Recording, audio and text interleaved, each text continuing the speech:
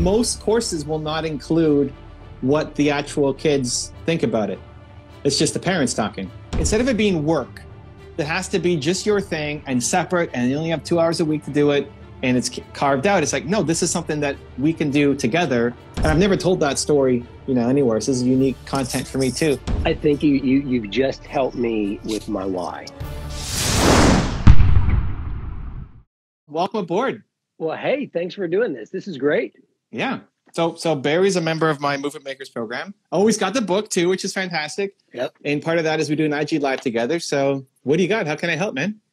Oh, a handful of things, Evan. Um, first is full time job, family, a lot going on, building dad's growing daughters on the side. Yeah. And wondering how do you like I, I love how you do the top 10. Mm-hmm. And I'm curious as to how do you get those 10 more quickly because I'm thinking like I do all this research and then it takes a long time and I got to speed that up. Any suggestions on how to speed up the research for your posts?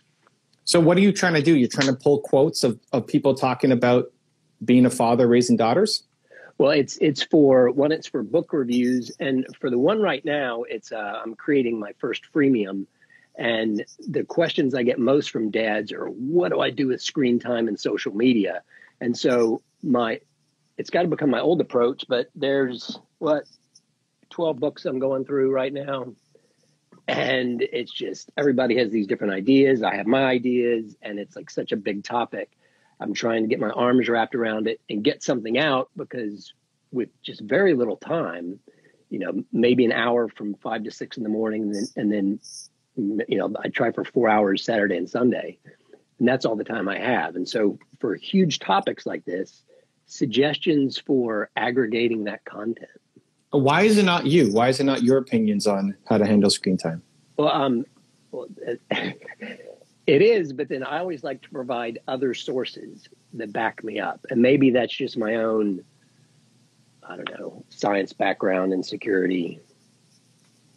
What do you think? I should just like put my 10 out there and not worry about well and it doesn't even have to be 10 it's like hey here's how to handle screen time. If that's the most common question that you're getting that's a great freemium uh, model. That's a great lead magnet thing for you. Like what do you want to sell ultimately? Coaching?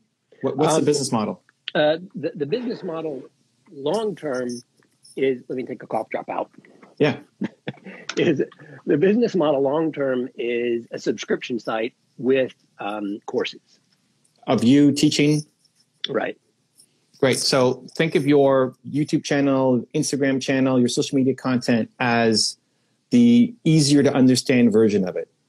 Okay. So if you want to sell a course i want you to be the guy that i'm going to learn from. You could have a great quote from will smith but is will if will smith's not teaching a course it's going to be right. harder to to sell it um, so it's building you up the other thing that's kind of coming to mind is I'd love to. How old are your daughters? They are 11 and 13. I'd love to involve them. I've just started doing that, and I've I've been reluctant, but hearing that makes me think I, w- I will do it. I mean, the only the only thing I would just be being conscious of what stories you share or um, you know privacy that kind of stuff. But as long as they're into it, I did a great podcast with a guy who had his two daughters join me. Uh-huh. Uh, and that's his show. It's like him and his two daughters. And they were younger. It's like, I want to say eight and 12. I'm okay. kind of trying to remember, but younger than yours. And I think that could actually be a really cool extra add on where it's you sharing your views on how to do things. Plus, okay. you do uh, interviews with people like kind of like this, but yeah. flipped, where you're on top. But bring the bring your daughters in. Like, who do they want to learn from? Who do they want to ask questions from, and then you're going to ask your questions, and then you get the daughter's take. So if you're going to bring on, if you like the science approach, then you go get whatever researcher is talking about screen time, for example. Let's just play with that one, right? So University of Texas comes out with this new study on screen time. Right. Uh, you go, you ask the professor, "Hey, do you want to come on my show? I'd love to talk to you about what this means." And and if you're not going after somebody huge, it's usually a lot easier, right? Like if you want Oprah to come on your show to talk about, that's going to be super difficult. But some professor Um, I've reached out and gotten a lot of contact with professors who have no idea who I am, right? Okay. Like researching into Akkermansia, which is a you know gut bacteria bug, and just messaging because I, I I care about it. Um, and they've like no idea who I am, but they're willing to respond because most people don't. A lot of scientists are really bad at marketing and, and exposure, getting the message out there. Right. And so you being able to kind of translate the science speak into digestible, consumable nuggets of wisdom oh, cool. could be cool. But your questions are going to come from a certain angle. But then it'd be cool to have your 13 year old there saying, well, what about this?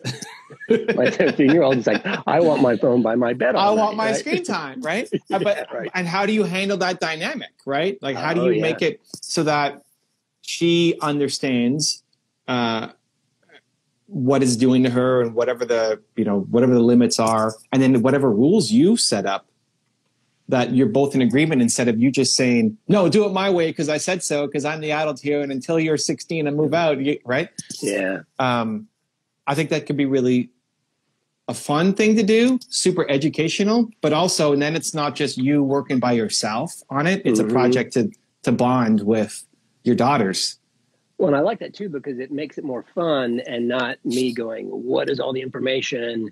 And then also, I've been reluctant to let, reach out to anyone because I'm like, oh, I've just started. I don't have any followers. Uh, You know, it's just I'm seven or something. And it's, yeah it's uh, so I've been reluctant, but I like the idea of reaching out to some researchers who, you know, may not be used to getting reached out to. Yeah, and, and a lot of times it's not even. You can look at who does a study, and Mhm. there's the there's the high up person who kind of co-signed it, but then there's also the people who did the work. Oh, there you go. The, the like on any study, it'll show everybody who was Yeah. involved in it, right? Yeah, And on- everybody's on- listed on the abstract. Yeah. Yeah, yeah, yeah. All of those people, and and their emails are all available on their on the university website Oh, for the most part. And then, yeah, some some somebody who actually maybe conducted some of the tests or some of the interviews or some of the whatever the actual work that the high up person is like they're not doing it themselves. Um, but that person's got a hands on in the data doing it. They may have never ever been reached out to by anybody. Oh, you're right. And they're probably the most passionate about it. Yeah, like they were the ones doing the work. Oh, And- this is great. And and so, and also it helps me break through the reaching out to others and starting to do an interview and and uh, getting that going. Yeah, and and all you have to do is basically translate the science into everyday speak. Um, this is what Tim Ferriss does. Like I love Tim, and that's his Yeah, entire business model. Is he takes scientific research that the average Joe ha- can't read. Like most people never read an abstract of anything, right? Oh, I They're- do. yeah, but you're but this is the skill, right? Most people Right. get their information from Twitter or Instagram or USA Today or something, right? It's like people who who can translate what that scientific paper means. Oh, and so that could be you, right? Part of the problem why a lot of researchers, scientists, academics, I think even in the entrepreneurial world, they don't do super well is because they can't communicate their message to the masses. They can only talk to each other. Um, and so that creates a huge opportunity for you that even if you just start with the, I think you could actually get some professors, like just legit professors, because they care about getting their, they care about the research. They just spent two years doing this study. It means something to them. Nobody cares enough about it. Right, right. And here's this guy who's got this mission to help fathers raise better daughters. Yeah, I'll, I'll spend 20 minutes talking to him, right? So Oh. I, I don't think you only have to go down. I think I think like Will Smith and Oprah and those guys, yes, that'll be years. that'll be yeah, it's a little out of reach. That's out of reach for me. I'm still working on those people. but researchers, super easy. And if you love the kind of data angle to it, so you're going to bring the the recommendations plus science backing behind it. I, I didn't think think it- about that, about that being an angle of mine, because I, I love Tim Ferriss. I love Tom Bilyeu. I love you. I love, you know, just all these, it's like, okay, why do I love the people I follow? Yeah. Because there's good, solid data behind it. You know? Yeah. Uh, Tim is the most. Tim Tim dives into the data and the details the most. Um, Tom does some. Tom is educated enough. I I pull from different sources, but I'm not as uh, looking into research reports on things. But I think that's a super interesting angle. Um, yeah, and there's lots of research out there that just Oh, goes it just goes unnoticed. Oh, awesome. Um, so that could even be a project with your daughters. It's like, hey, let's pick let's pick an assignment together. Let's pick one study that you you have an opinion on or that you're interested in, and then you sit instead of I guess you're not doing bedtime stories at 13 anymore, but you know I was like instead of bedtime I, I, I still, uh, in, in my 11 year old, I, I make up stories a lot of nights. And so I'm, I could still get her on the story side. Okay, well, but like I'm thinking that could be a father daughter instead of it being work. That has to be just your thing and separate, and you only have two hours a week to do it, and it's carved out. It's like no, this is something that we can do together, and let's find something that you care about, that you're interested into, not just not just daddy's Not just dad. thing, what he cares about, but let, let's pick one that you care about too, Oh, and then we'll both great. we'll both share our views on it. Um, it's a Oh, that is- huge. If you can get them on camera doing it, like if they care, I mean, obviously, I'm not going to force them. Oh, but, I, I can. I can. I actually did with my first course. Yeah. Um, I, I, it's called "Have You Brushed Your Teeth Yet?" It's about habits and chores. yeah, And I got them. Uh, it's on Kajabi, and um, I got them to do like it's a bonus about what my daughters think, yeah. and they had a blast doing it. Yeah, and it's so. Like most courses will not include what the actual kids think about it. It's just the parents talking. Right. And in terms of growing their confidence, so I did a podcast maybe three weeks ago with Yeah. um, there's a woman in London who's a leadership expert, and she wanted me to come on and talk about leadership. Uh, and she's you know in her fifties, and then she also brought her son on who was just in university. Okay. And at the beginning, uh, so they were both interviewing us, and and the woman has, you know, decades of experience doing this, and the son is basically just getting started. And one of the things we talked about was I was I was so happy that he was on because at the beginning, he feels like, what does he know about leadership? You know, like he wants to learn, but here's his mom, who's the expert, who has all this experience, who's going to ask way better questions than him, and she uh, basically makes sure to make him feel comfortable and integrate him into the show to say, hey, what's what question do you have for Evan? Oh, yeah. You know, as a 18 year old, 19 year old, 20 year old, however old he was. I'm Um, going to do it. yeah, just a confidence to feel like now he's enough, like hit that he can, he doesn't have to have all the experience that his mom has, but that um, it's the flip of you, basically, right? It's the son and the and the mother instead of the father and the daughters. But Oh, that's Uh, awesome. Well, and you just hit on this this second most asked question is, which I was going to do is the the freemium, the lead magnet is confidence. Yeah. How do I help my daughter be more confident? And so those, um, I love the idea that oh, by involving them more, that helps build their confidence. Yeah, if there's somebody that they look up to, like having them come on with me, they're like, oh, I don't know who this guy is. Forget that. But if you, if you, yeah, but that's the thing. Like if it's somebody that they care about, that they've Mhm. researched, they've read about, or they have some opinion of, and it doesn't necessarily have to be some pop star, or, you know, Taylor Swift or somebody. Yeah. There could be somebody that they just they just care about, or somebody they've been researching for the past two weeks, and now they're actually Yeah, going to talk to this person. Yeah. Now it's like, Oh, oh my god, we're going to talk to this person, and, and like- them just showing up and asking a question is a huge Oh, like that they're that they're deserving that they're worthy that they're not going to ask a stupid question and and that the person is actually responding yeah. just creates so much confidence and and hope and um just feeling like you can do stuff Oh, it is. And that's like, okay, me right now, I'm like going, okay, how many questions can I get for Evan? You have time for a couple more? yeah yeah yeah yeah, yeah. Oh, awesome. Um, so uh, the next one's part of the first one. Okay, it is a side hustle, minimal amount of time. Yeah. Um, uh, realist. I'm not good at setting realistic expectations, and so that's moved me into the frustration, overwhelm cycle. And so, any um, suggestions, recommendations there for with the minimal amount of time, realistic expectations, and and how to use that um, time the most effectively. so i would flip the expectations of the results because that's what it is. It's like hey how long until i get xyz accomplished? And Right. flip it to actually enjoying the process of doing the work. Oh, nice. because if you think about think about your message to your daughters as well as your message to fathers who are raising daughters right? Which is what your whole thing is about. Your message isn't okay get them ready so that when they graduate university they can go get a good job. Oh no, yeah. but that's very outcome focused, right? It's no, enjoy your life with your daughters. Like make today count. Teach them the things that, Oh, yeah. right? So you just apply the same mindset to your business and that if you're going to go interview a University of Kansas City researcher that it's not just about getting this episode out and trying to get a thousand views on it. It's I'm going to enjoy this time with my daughters, researching the person, asking the questions, doing the live together, breaking them out of their comfort zone, and and then posting a great interview. So tying your self worth to that process more than how many people saw this episode.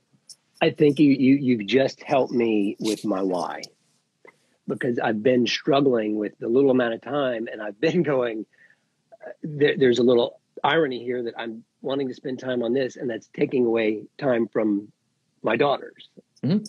And so now it's putting those two together, and so oh, that's thank you. That's that's you've not only helped me with that, but helped me with more solidify my why. Yeah, I mean, you you already had your why and you already had your message. I'm just helping kind of bring it inside the business context um, of running your business. So uh, one of the things I love the most is my so my parents are on the wall behind me, right? Like that's my Oh, mom, I love it. And my mom was a so that's me when I'm eight or nine years old, Yeah. and my mom basically gave me opportunities and made me do not made me like we worked on a whole bunch of things always together. I remember when I was your daughter's 11 and 13. yeah. So when I was 13, the Blue Jays had just won the World Series. Um, Toronto Toronto fan, Toronto Blue Yeah, Jays baseball, yeah. and and my mom um, took me. I've got two sisters, but she took me by herself, just the two of us, as like uh, mother son time together, right? Yeah. To Dunedin, which is where they do spring training Yeah. before the yeah. season starts, Florida, and uh, I wanted to go meet the players, you know, and I was super nervous because Roberto Alomar and Joe Carter and you know these may, names may not mean anything to you, but like they were my heroes at the time, right? Oh wow, yeah.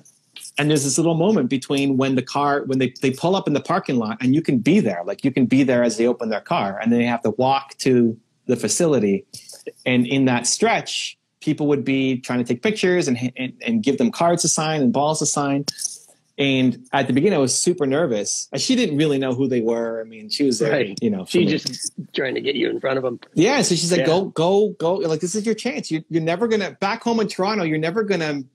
The stadium's ginormous. The security everywhere. You're never gonna meet these guys. So this is your chance to go and and meet them. And so, like, my heart's beating like crazy, and I'm scared out of my mind. And oh, like, what's the worst that's gonna happen? You know, they're not gonna like throw you out of the air as a you know as a 13 year old kid. And um and I did it, and, and I got uh, a couple hundred autographs in the span of Really? like a week and a half because I knew every player, even the minor leaguers that like nobody knew who they were. And the adults were then saying, "Who's that guy coming up? Who's the? Oh, that's Vince Horsman. He only threw one inning last year, but I got his card right here. Like, right? Um, Well, look at that. I mean, now today, that's a vivid memory. yeah, yeah, yeah, yeah. As a 13 year old, right? So Yeah. that's the thing. Like, my mom took me there and and helped me out of my comfort zone to do something I would never have done on my own or anywhere close to it. And I've never told that story, you know, anywhere. So this is unique content for me too. Um, so I think that'd be awesome, right? I think like that's a great gift that you can give your daughters on top of it being fun. And I honestly, I think even more valuable because if you're talking about how to do chores, and then and then you have your daughters say, "Yeah, you know what? I don't like doing chores, but I like when you structure it like this.